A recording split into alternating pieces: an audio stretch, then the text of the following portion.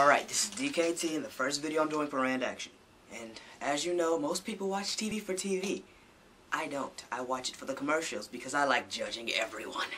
So how about we begin? Today I'm going to be reviewing the Haagen-Dazs Gelato commercial. And I know it's pronounced Gelato. Yeah, don't correct me. Let's play the video. Cappuccino. Cappuccino. Cappuccino. No. Cappuccino. New Haagen-Dazs Gelato. Even the name tastes good. Alright, yeah, this video's known as the video that molests you in the middle of the night. Yeah, that video.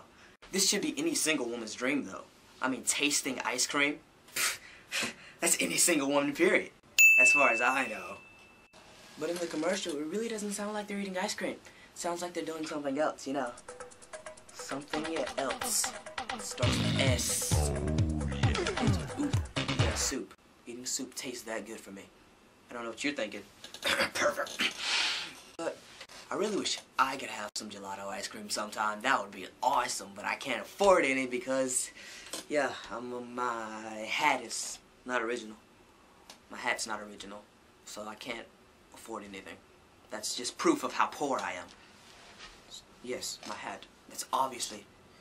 You just don't understand the pain of being be built, built, being built poor. Anyway, the first time I watched this commercial, it was really, really stupid to me because I was watching and I was, why are they saying gelato when they're selling ice cream? That makes no sense to me. And they didn't even say gelato in the commercial. They said cappuccino. And I was like, wait, this doesn't make sense. Haagen-Dazs gelato ice cream and they're saying cappuccino. This is the commercial I literally changed the channel for every time I saw it until I finally watched it that last time. And I was just thinking to myself, wait, cappuccino is an ice cream flavor. And the face palm of light just came in and I promise you I deserve so many face palms that night.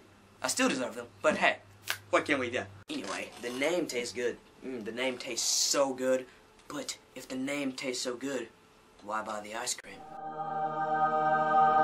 That's something to think about, because if you don't have to buy the ice cream, just say the name. Now it's any now it's any person's dream, not just the single women. Now it's the ugly women, the fat women, the beautiful women, the men, the men who want to be women, the women who want to be men. I don't judge. But I do judge commercials. And that is how this will end with Haagen-Dazs Yamato.